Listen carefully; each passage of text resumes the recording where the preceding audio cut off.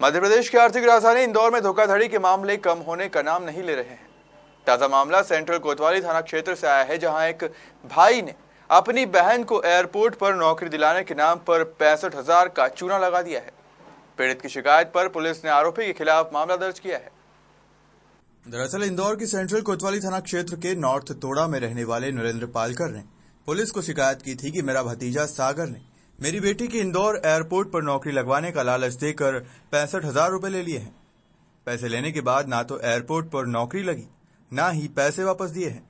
वहीं फरियादी नरेंद्र पालकर द्वारा सागर को लगातार फ़ोन किए जा रहे हैं, मगर सागर द्वारा फ़ोन नहीं उठाया जा रहा है, जिसकी शिकायत फरियादी द्वारा सेंट्रल कोतवाली पर की गई है, जिसमें पुलिस द्वारा सागर पर धोखाधड़ी का मामला दर्ज कर अन्य धाराओं में मामला दर्ज कर आरोपी सागर की तलाश शुरू कर दी है।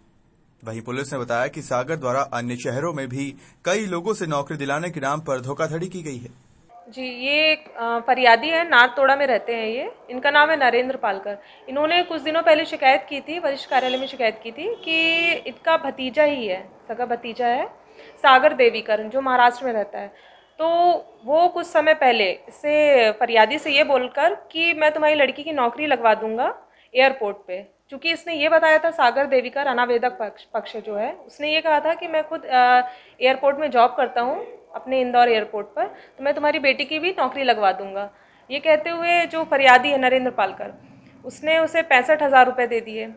अब इसने क्या किया कि फर्जी मैसेजेस के थ्रू मेल के थ्रू, इस टाइप के मैसेजेस उसे रिप्लाई में भी करता रहा।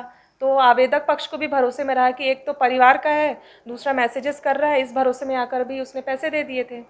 कुछ दिन हुआ, फिर जब इसने अपना फ़ोन स्विच ऑफ़ कर लिया, तब फरियादी को बाद में पता चला कि ये तो धोखाधड़ी करके चला गया है। क्योंकि ये ना कॉल रिसीव कर रहा है, तब से ना कुछ कर रहा है।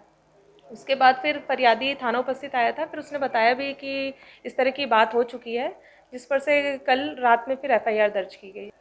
नहीं, पहली शिकायत यहाँ की है। हाँ ये जानकारी में जाँच के दौरान पाया गया था कि दूसरे थाना क्षेत्र मतलब दूसरे ज़िले में, जबलपुर में भी इसके खिलाफ एफआईआर दर्ज हुई है 420 की। और कल अपने थाने में हुई है। जी, परिवार का था ये, इसका सगा भतीजा ही है। परिवारिक पारिवारिक रिश्ता ही है। वो महाराष्ट्र अकोला का रहने वाला अनावेदक पक्ष। आरोपी का नाम है सागर देवीकर। इंदौर से हार्दिक प्रजापत की रिपोर्ट।